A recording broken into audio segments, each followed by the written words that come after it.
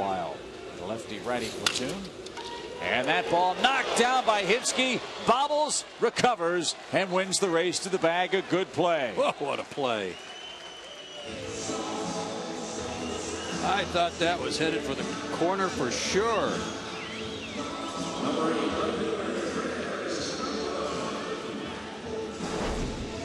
Man, oh man. Laying out for this one, Eric Hinske right on the line.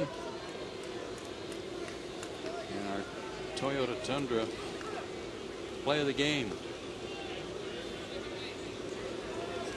Toyota Tacoma